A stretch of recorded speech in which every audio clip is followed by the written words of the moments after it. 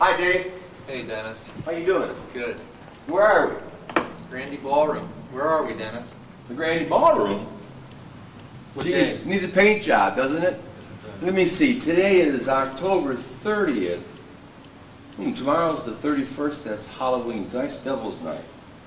Oh, yeah! Now I remember. 28 years ago was the night we recorded Kick Out the Jams, our first album. In fact, that was the first live album ever done by a rock and roll band. Hmm.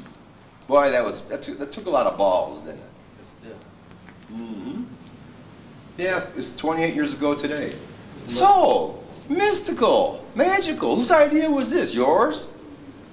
It's in the cards. Ah, it's in, it's in the cards? Okay, let's call it. Let's call it destiny. When destiny kisses fate. Maybe there's some archives laying around. Hey, I'm just a sad man living in a plaid land. The walls are closing in, Joe. The squares have fenced my very soul. Dennis Thompson. Tell us about the other guys in the band. Tell us about Rob. I used to room with Rob. Um, I liked rooming with Rob because he was the most intelligent guy in the band. And Rob and I could talk about uh, everything. Could talk about mathematics, mathematics, philosophy, philosophy, topical events. He wasn't a sports nut. He wasn't. Uh, he was a very intelligent man, and we got along very, very well. He, he helped me get through some, some tough time with Smack. Uh, things got bad for us, and I got I got introduced to uh, that nasty drug, and uh, unfortunately, I was a junkie for a while.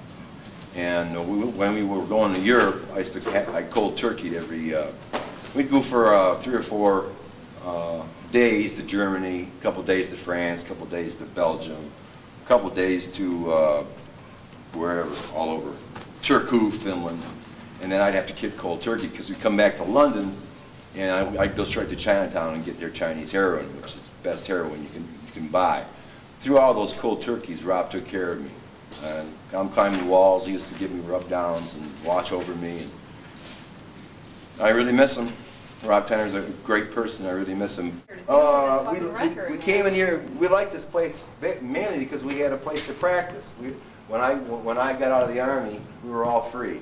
So we lived on a, a above an old dentist office right close by here, and uh, we all lived together in this beat, rough, beaten up junky place, you know, dirty and whatever, but we all lived together there. And we had a practice room downstairs. It was called the Artist Workshop. And every Saturday they would have Beatnik, uh, Beatnik uh, Fest. There'd be jazz, uh, jazz, uh, local jazz uh, bands playing and poetry readings. Allen Ginsberg stopped by and a couple times and read poems, Sinclair, other people.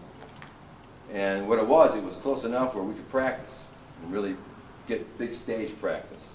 We, we knew we were going to be big because we were, we were good. We all grew up together. We knew we were going to, and the more we practiced, the better we got. We had a chemistry. We had a, a chemistry that's magical.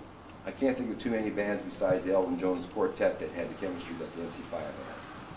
Stones had it in the, er, uh, in the beginning. They had it. The Beatles had it, but not quite like the Five. Uh, the personalities in the Five were just, I guess, di diverse enough where we, we had a blend that created a whole, a whole circle. The circle never really closes, you know that. You, you can take pi, which is a mathematical figure, is the ratio of the diam uh, diameter of a circle to the circumference. It's 22 divided by 7. Well, you, the, the Japanese ran a computer program on pi, and I guess they've taken it to 3 point to the 10 millionth place. So it's an unresolved number, number, which means that that circle never does really ever close. It's, a, it's an illusion, but it does close. That's where macro infinity meets mi micro infinity, and that's what you call God. God is everywhere. God is everything. He's everything. He's, that's what LSD was good for back in those days. You, you, you could, your mind went to higher planes, spiritual planes.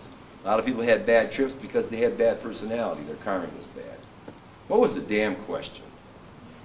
I forgot.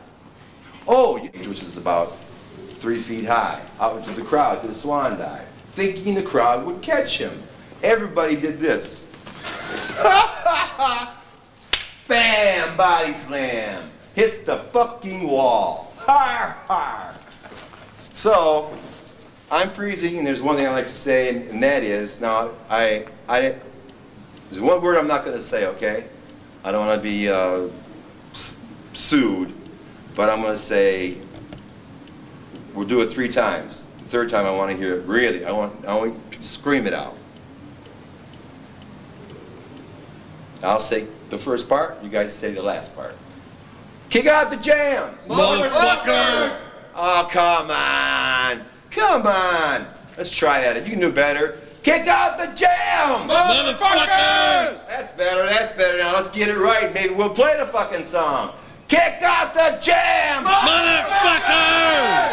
Yeah! Stay alive with the MC5. Yeah.